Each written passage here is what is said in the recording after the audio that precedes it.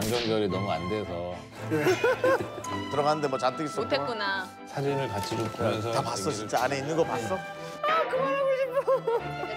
한 30cm 진입했는데 예. 전체가 다 준비가 안 돼서 아. 네. 들어가자마자 어이쿠 이제 안 되겠다. 들어가자마자 아 이거 안 돼. 이제 결과가 어이구야.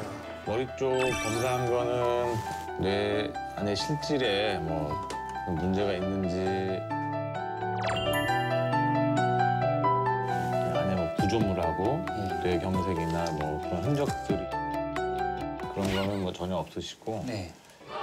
어, 척추 쪽도 한번 봤는데 근데 워낙 그 4, 5번 디스크가 약간 이렇게 눌려 있는데 네.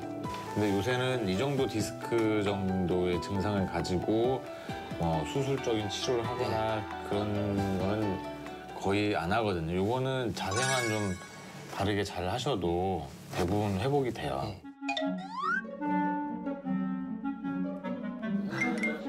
저런 거 보면 개미.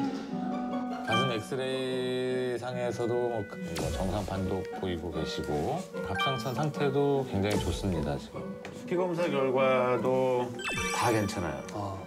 우선 아까 우려했던 네. 대장 내시경은 약을 많이 안 먹었어. 금방 끝나거든요.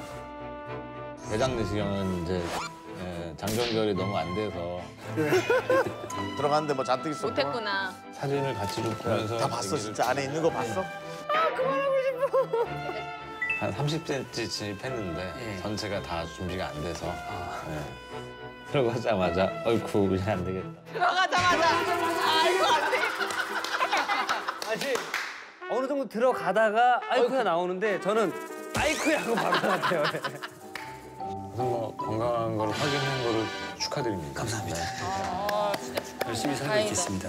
네. 다음에 시간 되시면 그래요. 네. 연락 주시고 언제든지 오세요. 알겠습니다. 네. 아유, 고생하셨습니다. 네, 예. 수고하셨습니다. 예. 네. 고생하셨습니다. 나가셔서 탈의하시면 됩니다. 네. 그래도 대장 내시경까지 좀 깔끔하게 했으면 참 좋았을 텐데. 그래 찝찝하지.